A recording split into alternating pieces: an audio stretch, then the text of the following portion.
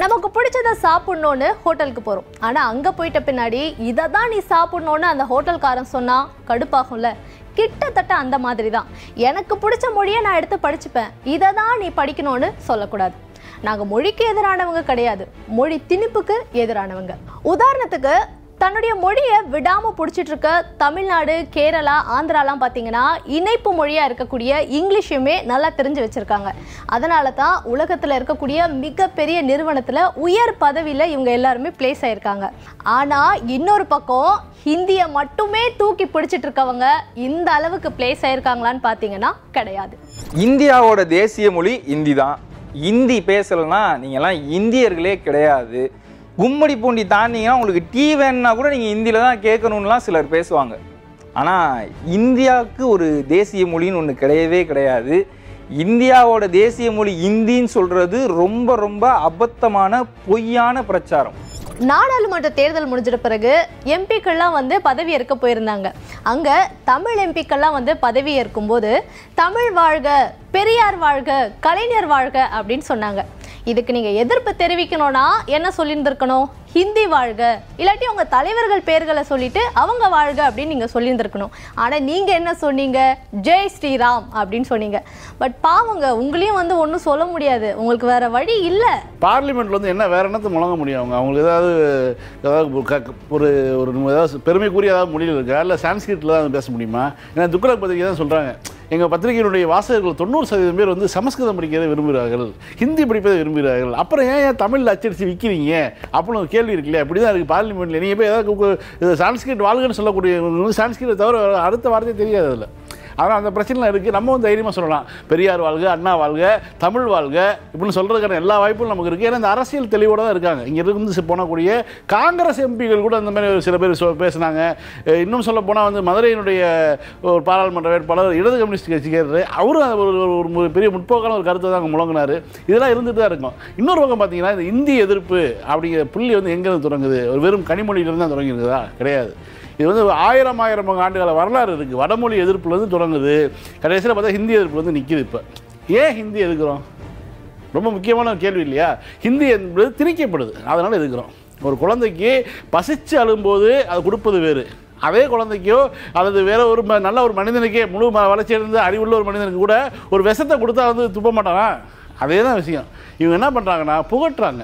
தேவையில்லாத விரும்பாத ஒரு விஷயத்தை வந்து போட்டுறதுனால தான் வந்து பிரச்சனையாகுது. தேவைக்கு இருக்கும்போது இங்கே பார்த்தீங்கன்னா சென்னையில் வந்து பல இடங்களில் ஜப்பான் மொழி சொல்லி சொல்லித் தரப்படுறாங்க. ஏன்? ஜப்பான் படித்து அந்த ஜப்பானிய மொழி படிக்கும்பொழுது அங்கே வந்து வா வேலை வாய்ப்பு இருக்குது அப்படின்னு ஜப்பானுக்கு போகிறாங்க சென்னையில் இருக்கக்கூடிய ஃப்ரெஞ்சு அலையன்ஸ் ஃப்ரெஞ்சில் பார்த்தீங்கன்னா வந்து அவ்வளோ பேர் வந்து ஃப்ரெஞ்சு படிக்கிறாங்க. இப்படி ஒவ்வொரு மொழியும் ஏன் இந்த இந்தி பிரச்சார சபா இந்தி பிரச்சார சபாவில் போய் பார்த்தீங்கன்னா அவ்வளோ பேர் ஹிந்தி படிக்கிறாங்க.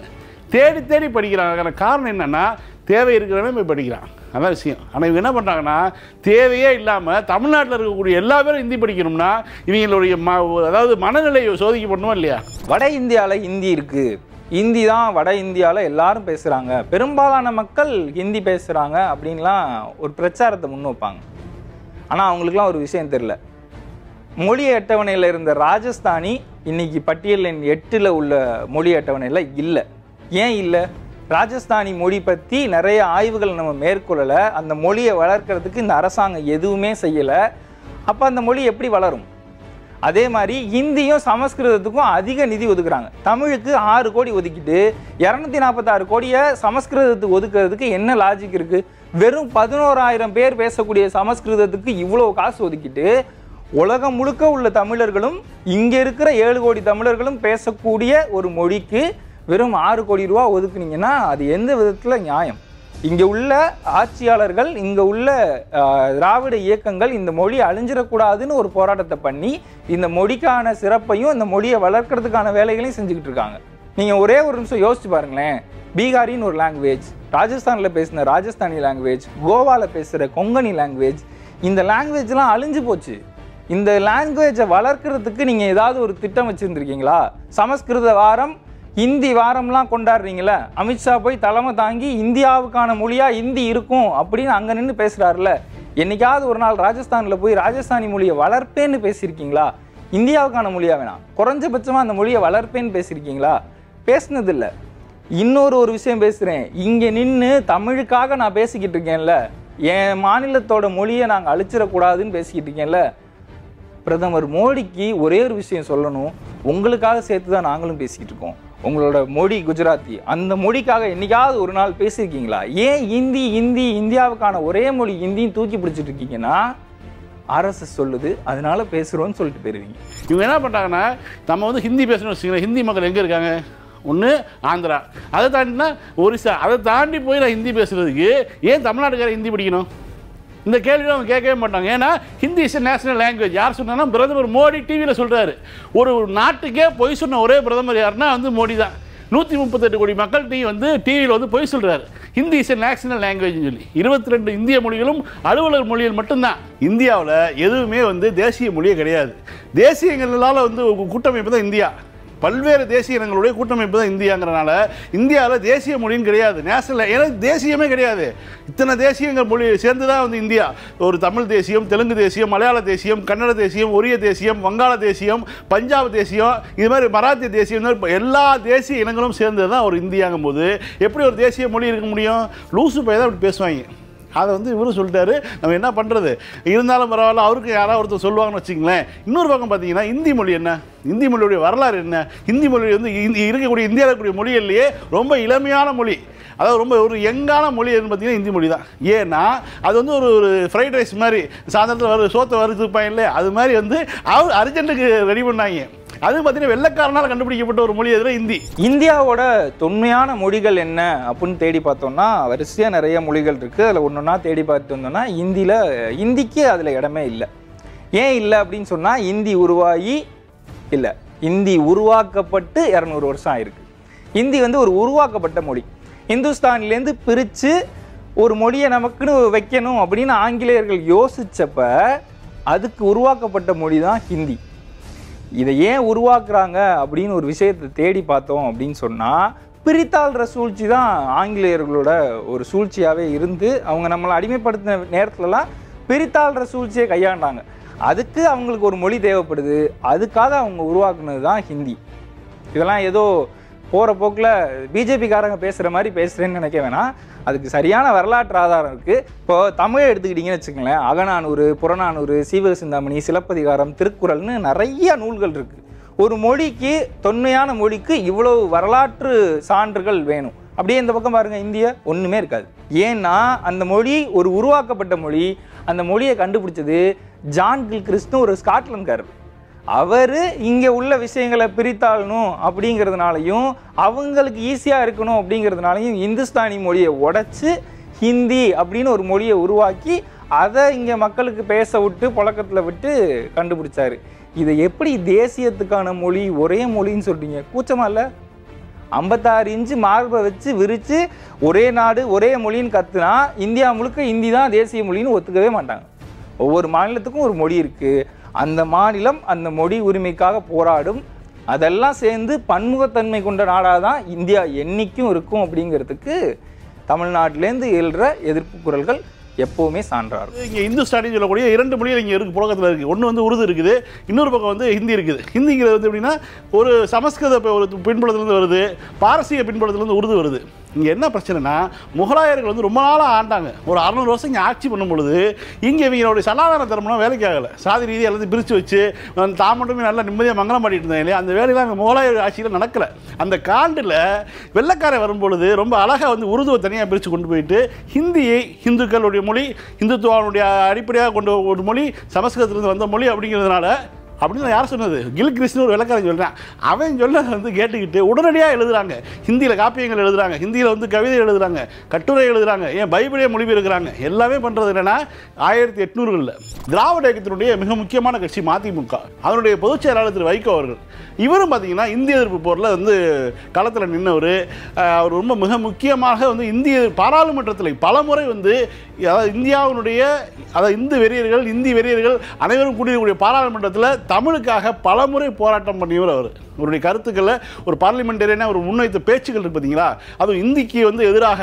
தமிழுக்கு ஆதரவாக பல்வேறு கருத்துக்களை முன் வச்சிருக்காரு. அவருடைய கருத்துக்கள் இந்திக்கு எதிராக தமிழகம் என்ன செய்ய வேண்டும்? ஏன் இந்திக்கு எதிராக நம்ம போராடுகிறோம் போன்றது பல்வேறு விஷயங்கள் சொல்லியிருக்காரு. அவருடைய கருத்துல கேட்போம். சமூக பலகை நிகழ்ச்சி.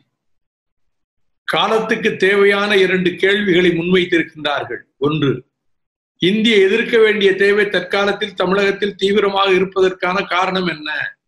மொழிப்போரில் பங்கு பெற்றவராக தற்போது நாசுக்கான இந்தி திணிப்பை எவ்வாறு எதிர்கொள்ள வேண்டும் என்று கருதுகிறீர்கள்? எண்பத்தி ரெண்டு ஆண்டுகால வரலாறு கொண்ட இந்திய ஆதிக்க எதிர்ப்பு போராட்டம் ரத்தத்தாலும் கண்ணீராலும் தியாகத்தாலும் தீட்டப்பட்டது. ஆயிரத்தி தொள்ளாயிரத்தி இருபத்தி ஆறு மார்ச் ஏழாம் தேதி அன்று தந்தை பெரியார் அவர்கள் குடியரசு இதழில் தமிழுக்கு துரோகமும் இந்தி மொழியின் ரகசியமும் என்று ஒரு கட்டுரையை தீட்டி அன்றைக்கு எச்சரிக்கை செய்தார். அது வட வட ஆரிய கலாச்சார படையெடுப்பு என்று குறிப்பிட்டார். ஆயிரத்தி தொள்ளாயிரத்தி முப்பத்தி எட்டில் ராஜாஜி முதலமைச்சராக இருந்தபோது பள்ளிக்கூடங்களிலே இந்தியை கட்டாய பாடமாக்கிய போது அதை எதிர்த்து போராடுவதற்கு தமிழகத்திலே தந்தை பெரியார் அவர்கள் நீதிமன்றத்திலே போய் வாதாடினார். எனக்கு அதிகபட்ச சிறை தண்டனை கொடுங்கள் என்று கேட்டார். அவருக்கு மூன்று ஆண்டுகள் என்று சொன்னபோது மகிழ்ச்சியோடு வந்தார். மூன்று ஆண்டுகள் மூன்று ஆண்டுகள் சொல்லிக் கொண்டு நூத்தி அறுபத்தி ஏழு நாட்கள் சிறையில் இருந்தார். காலமுத்து நடராஜன் சிறைச்சாலையில் இருந்து மடிந்தார்கள். அந்த காலகட்டத்தில் தான் திருவாரூரிலே முத்தமிழறிஞர் டாக்டர் கலைஞர் பதினாலு வயது மாணவனாக இந்திய எதிர்த்து போர்க்கொடி உயர்த்தி வீதியிலே வந்தார். இதற்கு பிறகு நாற்பத்தி எட்டிலே மீண்டும் ஓமந்தூரார் முதலமைச்சராக இருந்த பொழுது அவினாசி லிங்கம் கல்வி அமைச்சராக இந்தியை கட்டாய பாடமாக்கிய பொழுது அப்பொழுதும் எதிர்ப்பு வந்தது இந்தி பின்வாங்கி ஓடியது. இதற்கு பிறகு ஆயிரத்தி தொள்ளாயிரத்தி ஐம்பத்தி ஏழு ஆகஸ்ட் ஏழாம் தேதி அன்று பிரதமர் ஜவஹர்லால் நேரு அவர்கள் இந்தி பேசாத மக்கள் விரும்புகின்ற வரை ஆங்கிலம் நீடிக்கும் என்று சொன்னார். ஆனால் ஆயிரத்தி தொள்ளாயிரத்தி அறுபத்தி மூன்று ஏப்ரல் பதிமூன்றாம் தேதி அன்று உள்துறை அமைச்சராக இருந்த லால் பகதூர் சாஸ்திரி ஆட்சி மொழி மசோதாவை கொண்டு வந்து ஆயிரத்தி தொள்ளாயிரத்தி அறுபத்தி ஐந்து ஜனவரி இருபத்தி ஆறு முதல் இந்தி அரியணை ஏறுகிறது ஆட்சி மொழியாக என்று அறிவித்தார்.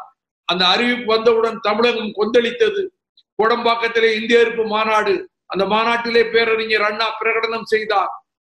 The official language of the union shall be Hindi in Devanagari script என்ற அரசியல் சட்டத்தின் பதினேழாவது பகுதியினுடைய முன்னூத்தி நாற்பத்தி மூணாவது பிரிவை தீயிட்டு கொளுத்துவோம். இந்த போராட்ட களத்திற்கு கலைஞர் தலைமை தாங்குவார் என்று அறிவித்தார். போராட்டம் வெடித்தது. சட்டம் எரிக்கப்பட்டது. பல இடங்களிலே கைதானார்கள். வழியெடுப்ப சென்ற கலைஞரும் கைதானார். இந்த போராட்ட களத்தின் போதுதான் சட்டத்தை என்ன எழுத்து கொளுத்துவது? என் மேனியையே தீயிட்டு கொளுத்திக் கொள்கிறேன் என்று கீழப்படுவர் பாட்டு சின்னசாமி தன்னைத்தானே திருச்சி ரயில் அடிக்கு சென்று தன் மீது பெட்ரோலை ஊற்றி நெருப்பு வைத்துக் கொண்டு கருகி படித்தான் தமிழ் வாழ்க இந்தி ஒழிக என்று சொல்லி. எனவே தமிழகம் கொந்தளித்த இந்த நிலையில் அறுபத்தி ஐந்து போராட்டம் மொழி போராட்டம் மாணவர் போராட்டமாக வெடித்தது. அண்ணாமலை பல்கலைக்கழகத்திலே சிவகங்கை ராஜேந்திரன் என்ற மாணவன் சுட்டுக் கொல்லப்பட்டான். மாணவர்கள் லட்சக்கணக்கிலே திரண்டு கொதித்து எழுந்தார்கள். இந்திய ராணுவம் தமிழ்நாட்டு எல்லைக்குள்ளே வந்தது. திருப்பூரில் திருச்செங்கோட்டில் ஆரணியில் பொள்ளாச்சியில் எங்கும் துப்பாக்கிச் சூடு நடத்தியது. இந்த காலகட்டத்தில் அரங்கநாதன் ஆசிரியர் வீரப்பன் சிவலிங்கம் சத்தியமங்கல முத்து கீரனூர் முத்து பிராலிமலை சண்முகம் மயிலாடுதுறை சாரங்கபாணி பீளமேடு தண்டபாணி தீக்குளித்தும் நஞ்சர் மாண்டார்கள். இந்த போராட்டம் போல ஒரு போராட்டம் தமிழ்நாட்டிலே நடந்ததில் என்று சொல்லத்தக்க அளவுக்கு எரிமலையாக வெடித்தது. அதனுடைய விளைவு அடுத்து வந்த பொது தேர்தலில் அறுபத்தி ஏழு பொது தேர்தலில் திராவிட முன்னேற்ற கழகம் மகத்தான வெற்றி பெற்று பேரறிஞர் அண்ணா அவர்கள் முதலமைச்சரானார்கள். முதலமைச்சரானவுடன் ஆயிரத்தி தொள்ளாயிரத்தி அறுபத்தி எட்டு ஜனவரி இருபத்தி மூன்றாம் தேதி சட்டமன்றத்திலே கொண்டு வந்து ஒரு சரித்திர பிரசித்தி பெற்ற ஒரு தீர்மானத்தை நிறைவேற்றினார். தமிழ்நாட்டில் மும்மொழி கொள்கை கிடையாது. இருமொழிதான். தமிழும் ஆங்கிலமும் மட்டும்தான். என்சிசி போன்ற அணிகளிலே கூட கட்டளை சொற்கள் இந்தியில் இருக்க வேண்டும் என்றால் அது அணிகளே எங்களுக்கு தேவையில்லை என்று அறிவித்தார். எனவே இந்திய ஆதிக்க எதிர்ப்பு போராட்ட களம் இந்த அளவுக்கு வளர்ந்து வந்த இந்த நிலையில் பின்னால் ஒரு காலகட்டத்தில் ஆயிரத்தி தொள்ளாயிரத்தி எண்பத்தி ஆறில் இந்தி மீண்டும் நுழைகிறதே என்ற கவலையோடு டாக்டர் கலைஞர் அவர்கள் அரசியல் சட்டத்துக்கு தீ வைக்கின்ற போராட்டத்தை மீண்டும் அறிவித்தார். அவரே சட்டத்தை கொளுத்தினார். அவரே சிறை சென்றார். அவருக்கு கைதி உடை அணிவிக்கப்பட்டது. அந்த போராட்ட களத்திலே நானும் அரசியல் சட்டத்தை எரித்து நானும் சிறைக்கு சென்றேன். இந்த போராட்டங்கள் எல்லாம் இப்படி வளர்ந்து இந்தி கூடாது என்ற இந்த போராட்ட களத்தில் இப்பொழுது அதிலும் இரண்டாயிரத்தி பதினாலாவது ஆண்டுக்கு பிறகு பாரதிய ஜனதா கட்சி ஆட்சிக்கு வந்ததற்கு பிறகு இந்தியை வேகமாக திணிப்பதற்கு பல்வேறு வழிகளிலே அது முடிவெடுத்துக் கொண்டு செயல்பட்டு கொண்டிருக்கின்றது. தமிழகத்தில் கடந்த அரை நூற்றாண்டு காலமாக நடைமுறையில் இருக்கும் இருமொழி திட்டத்தை தகர்த்துவிட்டு மும்மொழி கொள்கையை திணிப்பதற்கு மத்திய அரசு புதிய கல்விக் கொள்கையை கொண்டு வந்திருக்கின்றது. மும்மொழி திட்டம் என்பது மொழி- மொழி திணிப்பு அல்ல. இது இந்தி பேசும் வட இனத்தினருடைய ஆதிக்கத்தை உறுதி செய்கின்ற முயற்சியாகும். தமிழர்களையும் இந்தியை ஏற்காத பிற தேசிய இனங்களையும் நிரந்தர அடிமைகளாக வைப்பதற்கான சதித்திட்டமாகும். நாடாளுமன்ற ஆட்சி மொழி குழு பரிந்துரைகளை செயல்படுத்த மத்தியிலே இருக்கக்கூடிய பாரதிய ஜனதா கட்சி அரசு வெளியிட்டிருக்கக்கூடிய செயல் திட்டங்கள் இந்தி பேசாத மாநிலங்களில் இருக்கக்கூடிய பல்கலைக்கழகங்களிலும் உயர்கல்வி நிறுவனங்களிலும் இந்தியிலே தேர்வு எழுதவும் இந்தியிலே நேர்முக தேர்வுகளை நடத்த வேண்டும் என்பதற்கான ஏற்பாட்டை செய்வது அதுபோல நாடெங்கிலும் இருக்கக்கூடிய அனைத்து நா- பல்கலைக்கழகங்களிலும் உயர்நிலை கல்வி நிறுவனங்களிலும் இந்தியை பாடமொழியாக கொண்டு வருவதற்கு தேவையான ஏற்பாடுகளை செய்வது தலைமை அமைச்சர் குடியரசுத் தலைவர் அமைச்சர்கள் அவர்களுக்கு இந்தியை படிப்பதற்கும் பேசுவதற்கும் தெரிந்திருந்தால் அவர்கள் இந்தியில் மட்டுமே பேசுவது இந்தியில் மட்டுமே அறிக்கை தருவது என்று இப்படிப்பட்ட அறிவு மட்டுமல்ல வெளிவிவகாரத்துறை பொதுத்துறை நிறுவனங்கள் ரயில்வே துறை விமான போக்குவரத்து துறை வெளிவிவகாரத்துறை அனைத்திலும் இந்தியை வேகமாக திணிப்பது என்று பாரதிய ஜனதா அரசு முடிவெடுத்து அதை செயல்படுத்திக் கொண்டிருக்கின்றது. இந்த நேரத்தில் இரண்டாயிரத்தி பத்தொன்பது பட்ஜெட்டில் மத்திய அரசு இந்தி பேசாத மாநிலங்களில் இந்தியை சொல்லிக் கொடுப்பதற்கான ஆசிரியர்களை நியமிப்பதற்கு ஐம்பது கோடி ரூபாய் ஒதுக்கீடு செய்தது. இவர்களுக்கெல்லாம் முன்னோடியாக நாட்டினுடைய தலைமை அமைச்சரே இருக்கிறார். தலைமை அமைச்சர் நரேந்திர மோடி அவர்களே இருக்கிறார். அவர் நாட்டு மக்களுக்கு ஆற்றுகின்ற உரையை இந்தியில் மட்டுமே நிகழ்த்துகிறார். நாடாளுமன்றத்திலும் இந்தியில் மட்டும்தான் பேசுகிறார். ஆங்கிலத்திலே அவருக்கு உரையாற்ற தெரியும். வாஜ்பாய் அவர்கள் ஆங்கிலத்திலும் பேசுவார் இந்தியிலும் பேசுவார். இந்திதான் இந்தியாவின் மொழி என்பதை உலக நாடுகளுக்கு காட்ட நரேந்திர மோடி முனைகின்றார். இந்திதான் இந்தியாவை இணைக்க முடியும் என்று கருத்து சொன்ன அமித்ஷா பின்னர் கடும் எதிர்ப்பு காரணமாக பின்வாங்கி கொண்டு திரும்ப பெற்றுக் கொண்டார். ஆனால் நாடாளுமன்ற உறுப்பினர்களுக்கான கடிதங்களை அவர் இந்தியில் மட்டுமே எழுதுகின்றார். பல அமைச்சர்கள் நான் கூட மின்னஞ்சல் மூலமாக என்னுடைய எதிர்ப்பை தெரிவித்து விட்டேன். பல அமைச்சர்கள் இந்தியில் தான் கடிதம் எழுது கடிதங்கள் எழுதுகிறார்கள். நடுவண் அமைச்சகங்களினுடைய பெயர்கள் இந்தியிலும் ஆங்கிலத்திலும் அழைக்கப்படும். சிவில் ஏவியேஷன் என்று சொன்னால் அது அஹ், இந்தியிலும் அழைக்கப்படுவதற்கு பெயர் இருக்கிறது ஆங்கிலத்திலும் சொல்வார்கள். ஆனால் இவர்கள் ஆட்சியில் இப்பொழுது ஆயுஷ் என்றும் ஜல்சக்தி என்றும் இரண்டு அமைச்சகங்களை அமைத்திருக்கின்றார்கள். இவற்றுக்கான ஆங்கில பொருள் என்ன என்பதே இதர மொழி மக்களுக்கு தெரியாது. நடுவண் அரசின் திட்டங்கள் அனைத்திற்கும் இந்தி சமஸ்கிருத மொழி பெயரையே சூட்டுகின்றார்கள். அத்தகைய திட்டங்களை தமிழ்நாட்டில் செயல்படுத்தும் போது முன்பு அதற்கான தமிழ் மொழிபெயர்ப்பை எழுதுவது வழக்கம். இப்போது இந்தி பெயரை அப்படியே தமிழிலே எழுதுமாறு சொல்லுகிறார்கள். எடுத்துக்காட்டாக குடிர ஜோதி என்ற ஒரு சுட்ட திட்டம் இருந்தது. தமிழ்நாட்டில் அதை தமிழில் குடிசை விளக்கு திட்டம் என மொழிபெயர்த்தார்கள். ஆனால் இப்போது நடுவண் அரசின் திட்டங்களை இந்தியிலேயே தமிழில் எழுத வேண்டும் என்கிறார்கள். பிரதமரின் கிராம சாலைகள் திட்டம் என எழுதாமல் பிரதான் மந்திரி சடக் யோஜனா என எழுதுகின்றார்கள். தமிழ்நாட்டில் உள்ள சாய் தாய் சேய் நல விடுதிகள் அங்கன்வாடி என்று அழைக்கிறார்கள். நூத்தி முப்பது கோடி மக்களுக்கும் அடையாளமான அட்டை வழங்கும் திட்டத்திற்கு ஆதார் என பெயர் வைத்திருக்கிறார்கள். அதற்கு ஆங்கிலத்தில் ஐடென்டி கார்டு என்ற மொழிபெயர்ப்பு கிடையாது. இந்தியில் கையெழுத்து போடும்படி கடிதம் எழுதும்படி அதிகாரிகளை கட்டாயப்படுத்துகிறார்கள். அமைச்சர்கள் கடிதங்களில் எழுதுவதே இந்தியில் தான் என்று ஒரு முடிவெடுத்து விட்டார்கள். உலகம் முழுவதும் உள்ள இருநூறு நாடுகளில் இருக்கக்கூடிய இந்திய தூதரகங்களில் இந்தி மொழி கற்பிக்க பணம் செலவழிக்கின்றார்கள். ஆசிரியர்களை நியமிக்கின்றார்கள். ஆனால் இலங்கை மலேசியா சிங்கப்பூர் போன்ற தமிழர்கள் பெரும்பான்மையாக உள்ள நாடுகளில் கூட இந்தி மட்டுமே கற்றுத்தருகிறார்கள். தமிழர்களை தூதராக நியமிப்பதும் இல்லை. பிஎஸ்என்எல் நிறுவனம் இந்தியை புகுத்துவதில் மிக வேகமாக செயல்படுகிறது. தமிழ்நாட்டுக்குள்ளேயே அனைத்து அறிவிப்புகளையும் இந்தியில் தான் சொல்கின்றார்கள். அரசு தொலைக்காட்சி வானொலி நிகழ்ச்சிகளில் தமிழ் நிகழ்ச்சிகளை பாதியாக குறைத்துவிட்டு அந்த நேரத்தில் முழுக்க முழுக்க இந்தி பாடல்களை ஒலிபரப்புகின்றார்கள் தூர்தர்ஷனில் இப்பொழுது தமிழிலே தொடர்கள் தயாரிப்பதை நிறுத்திவிட்டார்கள்.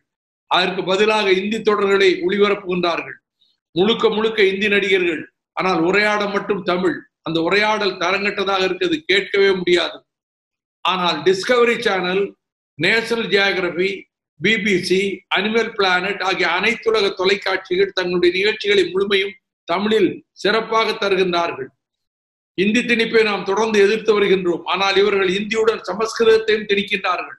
ஆயிரத்தி தொள்ளாயிரத்தி எழுபத்தி ஒண்ணு மக்கள் தொகை கணக்கில் இந்தியாவில் சமஸ்கிருத மொழி பேசுவோர் மொத்தமே இருபத்தி நாலாயிரம் பேர் தான் என்பது கணக்காகும்.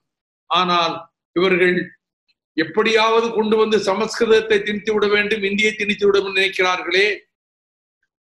இந்தி படித்தால் தான் வேலை கிடைக்கும் என்றால் வடநாட்டில் இருக்கிறவர்கள் எல்லாம் வேலை தேடி இங்கே ஏன் வருகிறார்கள்? பேரறிஞர் அண்ணா அவர்கள் தொலைநோக்கோடு தமிழும் ஆங்கிலமும் என்று திட்டத்தை கொண்டு வந்ததன் காரணமாகத்தான் இன்றைக்கு உலகம் பூராவிலும் அமெரிக்காவிலும் ஐரோப்பாவிலும் உலக நாடுகள் அனைத்து நாடுகளிலும் தமிழ்நாட்டு இளைஞர்கள் இள நங்கைகள் இன்றைக்கு வேலை பார்க்கிறார்கள் என்றால் அவர்கள் ஆங்கிலத்தை படித்ததனால் தான் ஆகவே அண்ணாவினுடைய கொள்கை வெற்றி பெற்றிருக்கின்றது. ஒரு மாநிலத்துக்குள்ளே ஓடுகின்ற ரயில்வே தொடரிகளுக்கு அந்த மாநில மொழியில் தான் பெயர் சூட்ட வேண்டும். சென்னை மதுரைக்கு போகிற வைகை எக்ஸ்பிரஸ் திருச்சிக்கு போகிற பல்லவன் எக்ஸ்பிரஸ் செங்கோட்டை வரை போகிற பொதிகை எக்ஸ்பிரஸ். ஆனால் இப்பொழுது இவர்கள் சென்னைக்கும் மதுரைக்கும் அதிவிரைவு தொடரி ஒன்றை அறிமுகப்படுத்தினார்கள். நான் கண்ணகி எக்ஸ்பிரஸ் என்று பெயர் வைக்க வேண்டும் கோரிக்கை கூட கொடுத்தேன். அவர்கள் தேஜாஸ் என்ற பெயரை வைத்திருக்கிறார்கள். எந்த அளவுக்கு இந்தியையும் சமஸ்கிருதத்தையும் கொண்டு வந்து திணிக்க வேண்டும் என்பதிலே அவர்கள் மும்முரமாக இருக்கிறார்கள் என்பதும் இது எந்த அளவு நம்முடைய கலாச்சாரத்தை இது வெளும் பெரிதும் பாதிக்கும் என்பதும் நம்முடைய மொழிக்கு ஆபத்து ஏற்படும் என்பதும் இதை தடுப்பதற்கு என்ன செய்வது என்று சொன்னால் இந்த வளர்கிற தலைமுறையினுடைய வரலா வரலாறு தெரிய வேண்டும். கடந்த கால வரலாறு தெரிய வேண்டும் இந்த தலைமுறைக்கு. எத்தனை ஆண்டுகள் போராடினார்கள் மறைமலடிகள் போராடினார் சோமசுந்தர பாரதியார் போராடினார். அஞ்சானஞ்சன் அழகிரிசாமி நடைபெணுமே நடத்தினார் பல்லடம் பொருளிச்சாமிக்கு முன்னாலே கொண்டு போய் முதலமைச்சர் வீட்டிலே நல்லவாம்பையை கொண்டு விட்டார்கள். எதிரே உட்கார்ந்து உண்ணாவிரதம் இருந்த போது அவர் அசையவில்லை. ஆக தியாகம் செய்து இந்தியை தடுத்து நிறுத்தி தந்தை பெரியார் பேரறிஞர் அண்ணா டாக்டர் கலைஞர் அவர்கள் காலத்தில் தடுத்து நிறுத்தப்பட்ட அந்த இந்திய ஆதிக்கம் மீண்டும் நுழைந்து விடாமல் தடுப்பதற்கு இப்பொழுது மற்ற மாநிலங்களிலே உணர்வு ஏற்பட்டு விட்டது. மராட்டிய மாநிலத்தில் சட்டமன்றத்துக்குள்ளேயே இந்தியிலே பதவி பிரமாணம் எடுத்ததற்காக அந்த சபையிலேயே உறுப்பினர்கள் தாக்கினார்கள். நவநிர்வாண் சபை அந்த அமைப்பை சேர்ந்தவர்கள் தாக்கினார்கள். கர்நாடகத்திலே தொடரிகளிலே எழுதப்பட்டிருந்த இந்தி எழுத்துக்களை அளித்தார்கள் அந்த உணர்வு இன்றைக்கு மெதுவாக இந்தி பேசாத மாநிலங்களிலே இந்த ஆதிக்கத்தை எதிர்க்க வேண்டும் என்ற உணர்வு வளர்ந்திருக்கின்ற காரணத்தினால் திராவிட முன்னேற்ற கழகத்தினுடைய தலைவர் அருமை சகோதரர் தளபதி ஸ்டாலின் அவர்கள் தலைமையில் இதே உணர்வை மற்ற மாநிலங்களிலும் பரப்புவதற்கான நடவடிக்கைகளை மேற்கொள்ளுகின்ற போது இந்தி ஆதிக்கத்தை நம்மால் எதிர்த்து தடுத்து நிறுத்த முடியும். சமஸ்கிருதத்தினுடைய ஆதிக்கத்தையும் தடுத்து நிறுத்த முடியும். அது செத்து போன ஒரு வடமொழி. அதை கொண்டு வந்து திணிக்கிறார்கள். ஜாதிக்க எதிர்ப்பு உணர்வு எல்லா இடங்களிலும் பரவட்டும். மாணவர்கள் மத்தியிலே பரவட்டும். இளைஞர்கள் உள்ளத்திலே பரவட்டும். நம்முடைய எதிர்காலம் என்பது இருமொழி கொள்கை தான் நம்மை பாதுகாக்கும். மும்மொழி கொள்கையின் மூலமாக நம்முடைய எதிர்காலத்தை நாசமாக்கி விடுவார்கள் என்ற உணர்வை நாம் எல்லா இடங்களிலும் பரப்புவோம். பிற மாநிலங்களிலே இதை எடுத்து சொல்லி செல்லு எடுத்துக்கொண்டு செல்லக்கூடிய பணியை தளபதி ஸ்டாலின் அவர்கள் மேற்கொள்ளட்டும். எனவே இந்திய ஆதிக்கத்தை எதிர்த்து போராட வேண்டிய நேரம் இதுதான் என்பதும் அவர்கள் முன்பல்ல மெதுவாக அல்ல நைஸாக அல்ல பட்டவர்த்தனமாக பயங்கரமாக உள்ளே வந்து நுழைகிறார்கள்.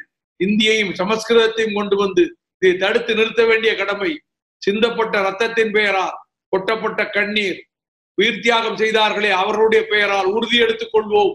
இந்திய ஆதிக்கத்தை தடுத்து நிறுத்துவோம். சமஸ்கிருதத்தினுடைய நுழைவினை தடுத்து நிறுத்துவோம். தமிழை காப்போம். வெல்வோம். தொடர்ந்து வந்து ஹிந்தியை வந்து ஒரு கட்சி இந்தியாவில் எதிர்த்துக்கிட்டே இருக்காங்க. இவங்க வந்து அது இந்த மொழி மேலே என்ன காண்டுனே தெரியல. அப்படிலாம் வந்து சில பேர் பேசுவாங்க இல்லையா? ஒரு கட்சி மட்டும் தன்னுடைய கொள்கையில் வந்து எந்த சூழல்லையும் வந்து தடமாறிக்கவே இல்லை. அவங்க வந்து ஒரு திமுக ஆயிரத்தி தொள்ளாயிரத்தி நாற்பத்தி ஒம்போதில் ஆரம்பிக்கிறாங்க. அதற்கு பிறகு உலகளாவிய மாற்றங்கள். அறுபதுகளில் வந்து ஒரு பெரிய ஒரு மாற்றம் வருது. சிந்தனை போக்கே மாறுது. பல்வேறு பு உலக புரட்சிகள் நடக்குது. பல்வேறு வரைபடங்கள் மாறுது. இதற்கு பிறகும் அந்த கட்சி இயங்கிட்டே இருக்காங்க. பிறகு எண்பதுகளில் ஒரு மாற்றம் வருது. தொண்ணூறுகளில் மாற்றம் வருது. ரெண்டாயிரங்களில் மிகப்பெரிய ஒரு மாற்றம் வருது.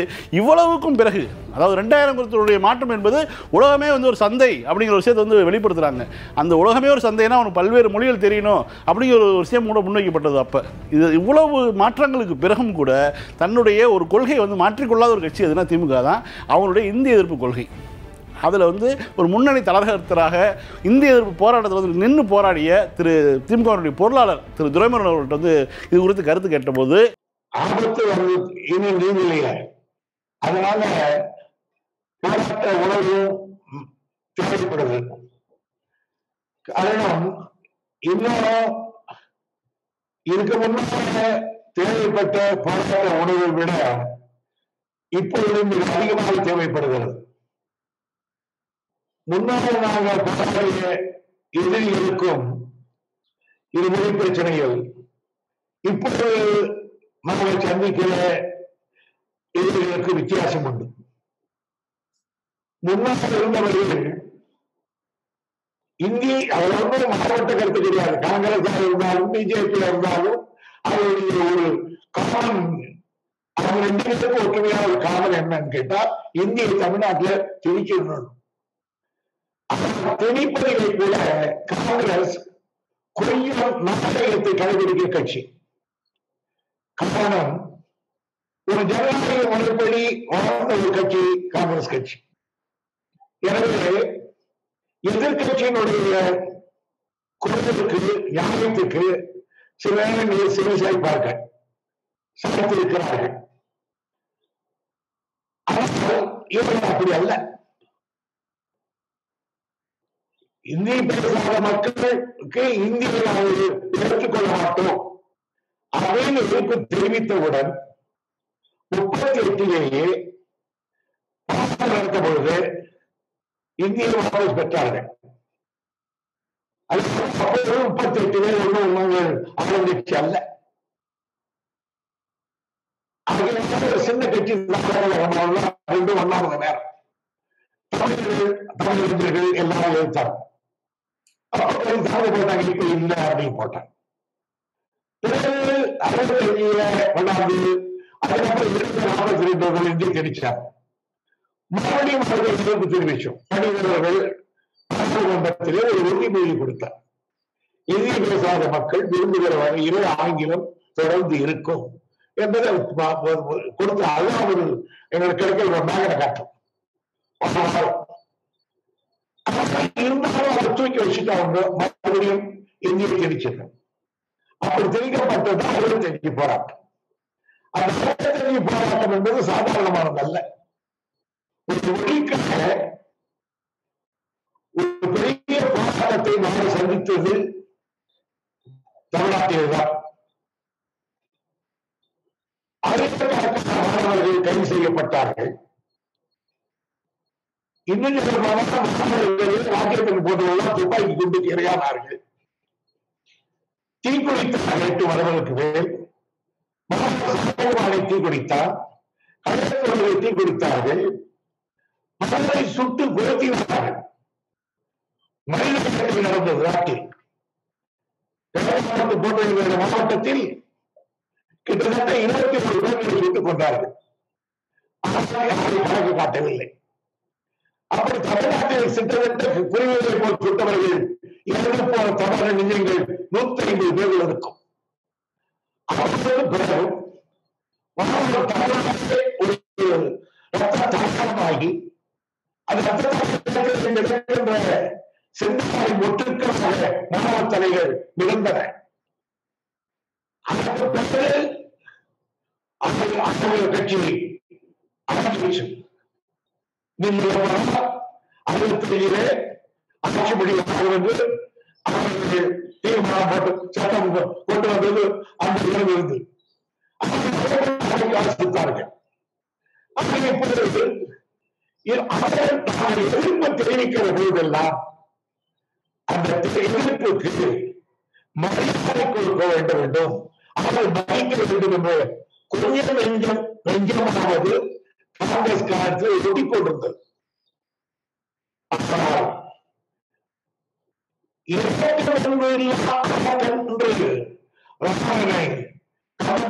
போல் அந்த கொஞ்சம் கூட ஜனநாயக உணர்வு கொஞ்சம் கூட இல்லாத ஒரு ஆட்சி. இந்த ஆட்சி.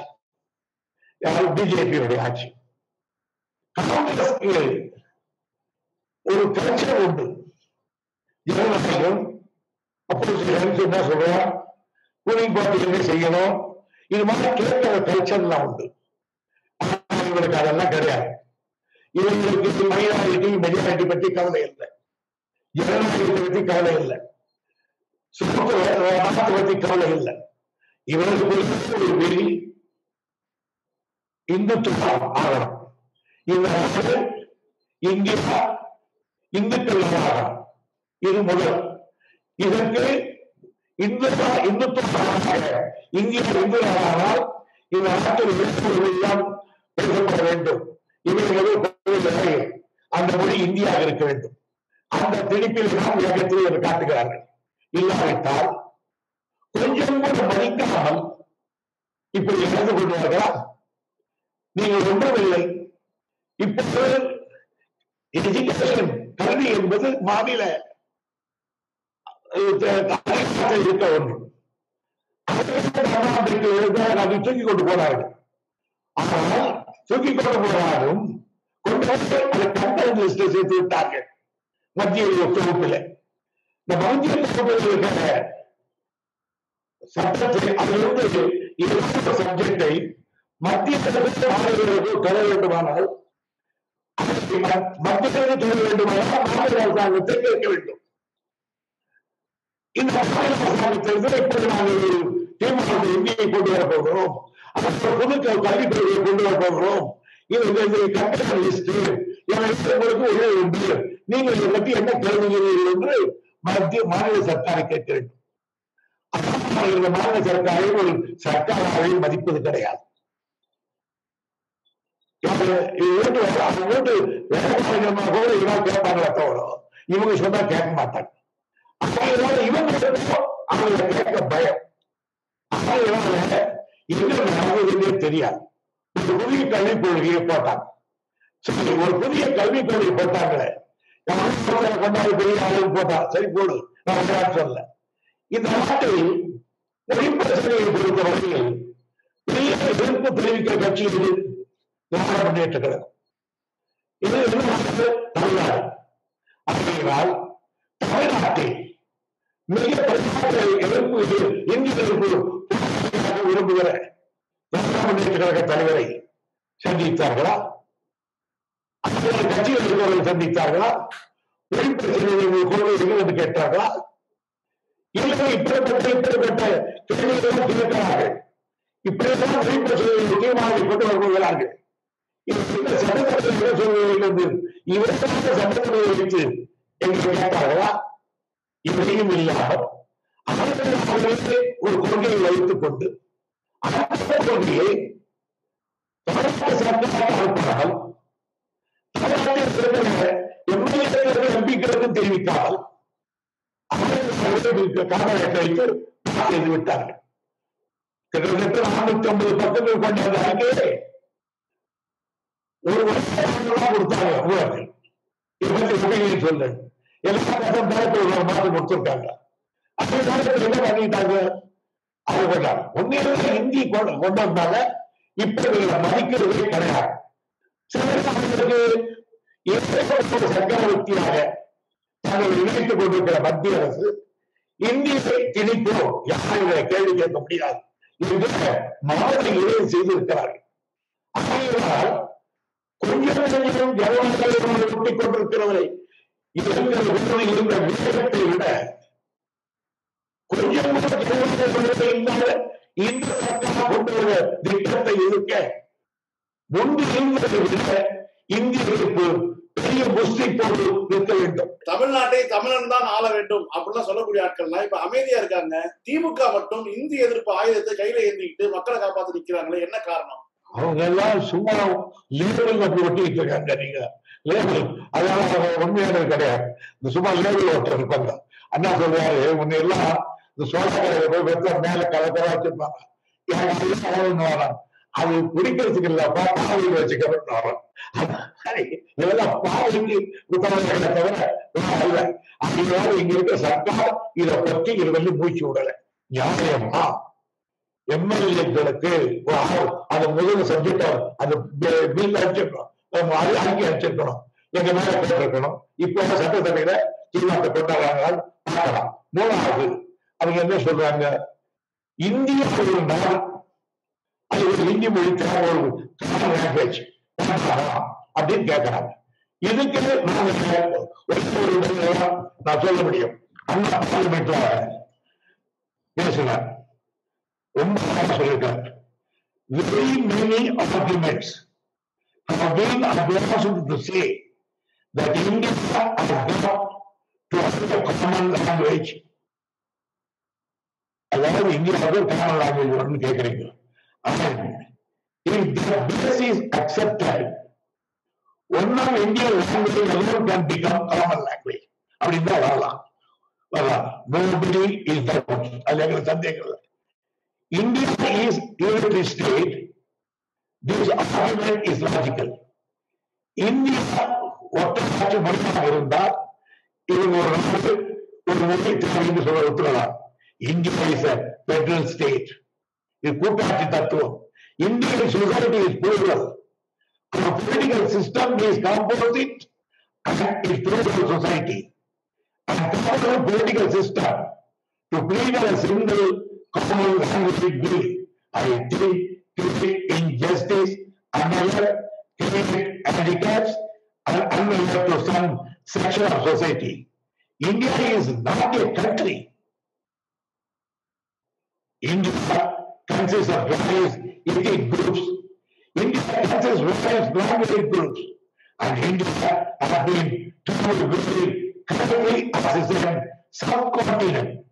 And that is why we are not able to find out that I'm working medium as far as original language is concerned. Even today, my father was saying, agree, to give argument to say that Congress has not presented சொல்லி சொன்னாரு அதனால நாங்க இங்க வந்து இயக்கத்தை முடியாதுன்னு சொல்லிட்டார் India is not a country India is not ஒரு சொல்லிட்டார் எங்களுக்கு ஒரு ஒரு தீயை கொடுத்து போயிருக்காங்க நான் தத்துவத்தை எனவே நாங்கள் அதைத்தான் சொல்லுவோம் இந்தியா என்பது ஒரு நாடு அல்ல it is India is not unitary இது ஒரு ஃபெடரல் அதனால லாங்குவேஜ் அல்ல அதனாலதான் நாங்க பதினாறு லாங்குவேஜும் எல்லா தேசிய மொழிகளும் ஆகணும் நான் கேட்டிருக்கிறோம் எனவே இப்போது இருக்கிற மிகப்பெரிய பிரச்சனை இங்கே மட்டும் எதிர்க்க முடியாது சமஸ்கிருதத்தை சேர்ந்திருக்க வேண்டும். இப்ப இருக்கிறவர்கள் ஜனநாயக அல்ல இந்திய எதிர்ப்பு மூலத்தனமாக இருப்பவர்கள். ஆகையினால் முன்பை விட இந்திய போராட்டம் வலுவுள்ளதாக வேண்டும். நம்மளோட கேட்கிற ஒரு கேள்வி. இந்திய மனுஷன் கிடைக்கணும் எங்க கிடைக்கும் எல்லாரும் வந்துட்டு இப்ப போறாங்க ராஜஸ்தான்காரன் வந்துட்டு போறான். இல்ல மற்றவங்க வந்துட்டு போறான். அதனால இந்தி படிக்காத போதே வெளிநாட்டு தமிழர்கள் பொறுப்புல இருக்காங்க. இந்தி படிக்காமலே வெளிநாட்டு தமிழ்நாட்டில் இருக்காங்க. ஆகையால இந்த போராட்டம் என்பது இதுவரையில் நடந்த இந்திய ஒரு போராட்டத்தை விட மிக விவரமான ஒரு போராட்டமாக இருக்க வேண்டும். இந்த மாநில சட்டம் அது செய்ய வேண்டும். இல்லாவிட்டால் இந்த எங்களுக்கு இருக்கிற போராட்ட முன்னேற்ற கழகம் அதை எழுதும் அது இருக்கிற சக்தி திமுக கொண்டு அது இருக்கிற சக்தியுடைய தற்கொலை எனர்ஜி லீடர் எங்களுக்கு கிடைத்திருக்கிறார் ஆகியோர தளபதி மு க ஸ்டாலின் அவர்கள் தந்தை பெற்றிருந்த இந்திய உணர்வுகளுக்கு தீயிட்டு பிறந்தால் தன் இயக்கத்தை நடத்துகிறவர் என்ற இதை பிஜேபி கொண்டு வந்திருக்கிற இந்த புதிய கல்விக் கொள்கையை திராவிட முன்னேற்ற கழகம். நான் இழுத்து நிற்கிறோம் இந்திய இந்த போராட்டத்தை நிறுத்தும் என்பதை நான் தெளிவாக்குகிறேன். அதற்கு தமிழ்நாட்டு மக்களை தயார்படுத்த வேண்டிய பொறுப்பு திமுக மட்டுமல்ல யார் யார் தமிழ் என்று சொல்கிறார்களோ அவர்களுக்கு உண்டு என்று நான் தெரிவித்துக் கொள்கிறேன். முன்னப்பதை இவ்வளவு காட்டலாம் இப்ப வந்து இந்தியா முழுக்க வந்து இந்திய குரல்கள் எழ ஆரம்பிச்சிருக்கு. இப்ப கனிமொழி அவர்களுக்கு கூட ஆதரவாக குமாரசாமி பெங்கால்ல இருந்து மொய்த்ரா அது மாதிரி நிறைய பேர் வந்து இந்தியா முழுக்க இருந்து இந்திய எதிர்ப்பு குரல்கள் எழ ஆரம்பிச்சிருக்கு. இதை எப்படி பாக்குறீங்க? ஆனா பெங்கால் வந்து வந்து அப்ப விவசாய குப்தாவே இந்திய உலகம் பேசுறார். சபையில் அண்ணா இருக்கும்போது. ஆனா இன்னைக்கு ஏன்னா இருக்கு நம்முடைய மொழி உணவு கொஞ்சம் கொஞ்சமாக பரவி அவர்கள் விழிப்புணர்வு செய்திருக்கிறது முன்பு திராவிட சொன்ன கருத்துக்கள்? நியாயம்தான் என்பது? இரண்டாவது இவர்கள் செய்கிற முரட்டுத்தனமான ஒரு அப்ரோச் இருக்கு பிஜேபி இது. அது யாரையும் கோபப்பட வைக்கும்.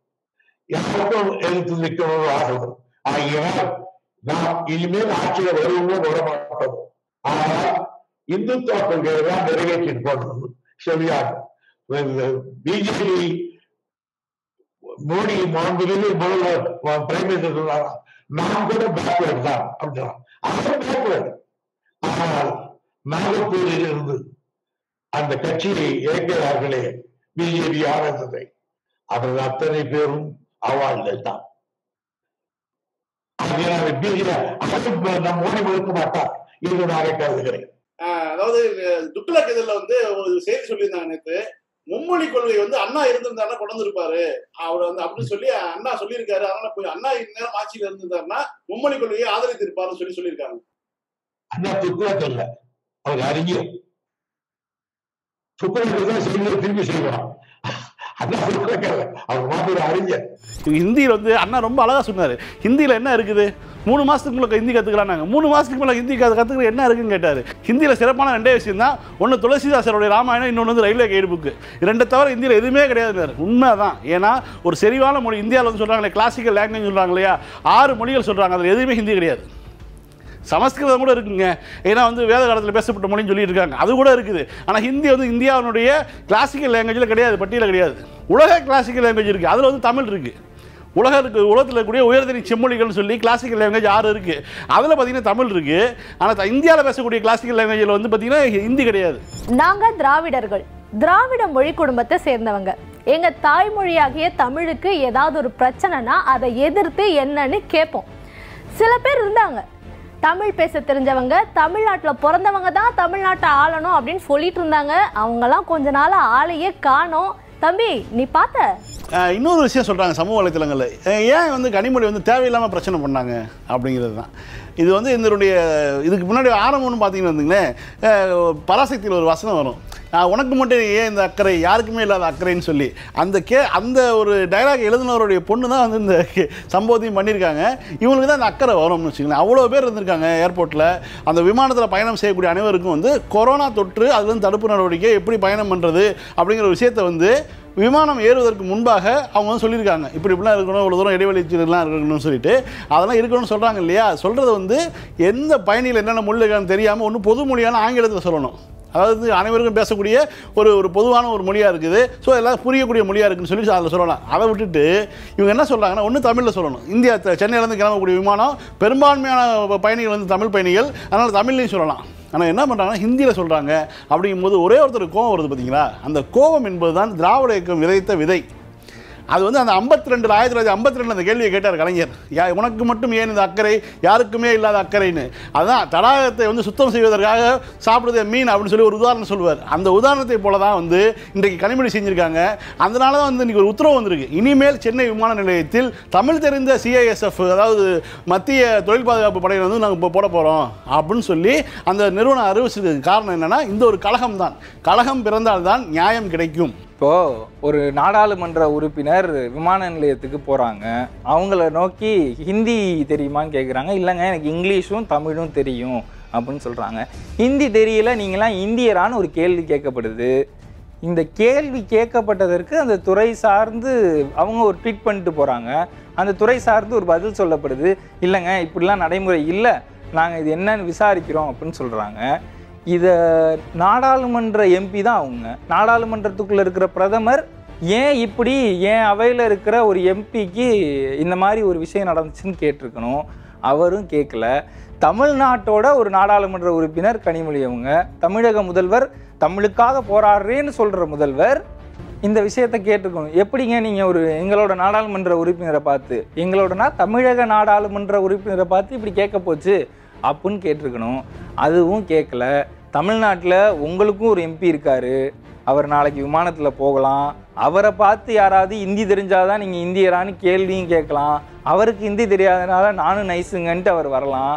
நாளைக்கு தமிழுக்கு எதிராக நாடாளுமன்றத்தில் ஏதாவது ஒரு பிரச்சனை வரும்போது I am coming from Modi land அப்படின்னு அவர் தைரியமாக கூட சொல்லலாம். அன்னைக்கு யாராவது எந்திரிச்சு you stupid just down you don't have a spinal cord அப்படின்னு திட்டலாம். அன்னைக்கு உங்களை பாஜகவோட பி டீம்னு சொல்லலாம். அதுக்கு அப்போ வந்து தைய தக்கான்னு குதிச்சுக்கிட்டு இருந்தீங்கன்னா ஒரு பிரயோஜனமும் இல்லை. நம்ம வந்து கல்வியில் முன்னேறி இருக்கோம். எல்லாத்துலையும் முன்னேறி இருக்கோம். நம்ம அப்புறம் எதுக்கு நம்ம ஹிந்தியை படிக்கணும்? இந்த கேள்வி இருக்கு பாருங்களா? இந்த கேள்வி தான் அவங்களை வந்து கோவப்பட வைக்குது. அவங்க வந்து ஹிந்தி இஸ் நேஷனல் லாங்குவேஜ் அப்படிங்கிறனால தான் இப்போ என்ன பண்ணுறாங்கன்னா Hindi is not national language respect பெங்கால்னு சொல்லி வங்காளத்தில் ஒட்ட ஆரம்பிச்சிட்டாங்க.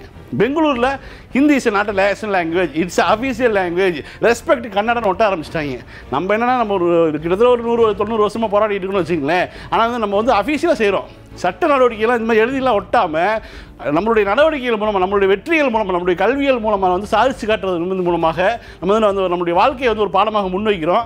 அதை தான் இந்த புதிய கல்விகள்னு சொல்கிறது எங்களை பார்த்து நீங்கள் நான் திருந்துங்கடா எங்களை மாதிரி வாழுங்கடா எங்களுடைய கல்வி முறையை நீங்கள் பின்பற்றுங்கடான்னு சொல்கிறதுக்கான காரணம் வந்து இதுதான். இந்த புதிய கல்வி முறையெல்லாம் ஒழிச்சு வச்சுட்டு இந்தியாவில் வந்து தமிழருடைய கல்வி முறை தமிழ்நாட்டினுடைய பள்ளிகளுடைய ஒழுங்கு இதெல்லாம் பார்த்துக்கிட்டு அவங்க வந்து செயல்பட்டாங்கன்னு வச்சுங்களேன் நல்ல எதிர்காலத்தை நோக்கி இந்தியா கொண்டு போகலாம். அந்த ஜிஆர் ரேசியோலாம் சொல்கிறீங்க பார்த்தீங்களா?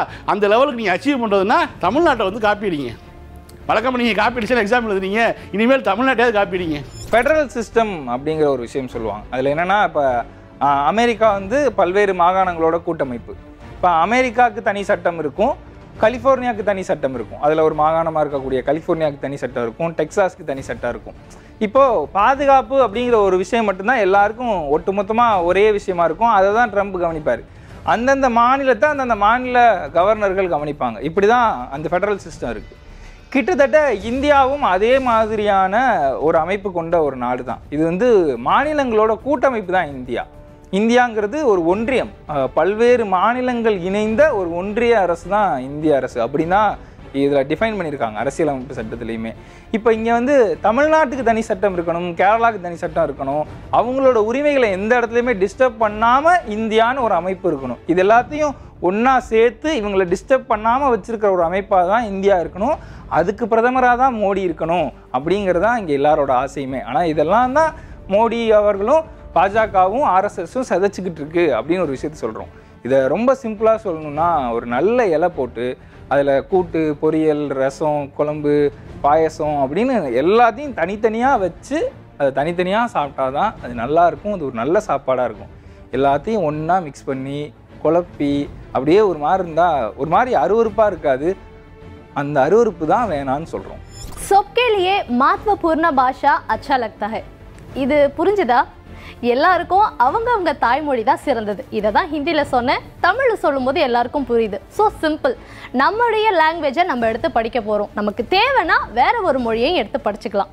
ரொம்ப டீசெண்டாக சொல்லிட்டோம். இதுக்கு மேலேயும் இதை தான் நீ படிக்கணும் ஹிந்தியை தான் படிக்கணும்னு நீங்கள் திணிச்சிங்கன்னா ஒரு நிமிஷம். ஹலோ? போராட்டமா? இதோ வரேன்.